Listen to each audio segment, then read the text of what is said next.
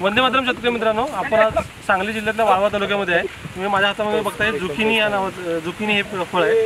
तुम्ही माझ्या मागे बघत पंचेचाळीस गुंठ्यामध्ये लागण केलेली आहे. आणि याच्याबद्दल डिटेल व्हिडिओ हा आपल्या चॅनलवरती लवकरच येणार आहे. तुम्हाला याच्याबद्दल माहिती पाहिजे असेल तर आपल्या यूट्यूब चॅनलवरती जाऊन नक्की सबस्क्राईब करा.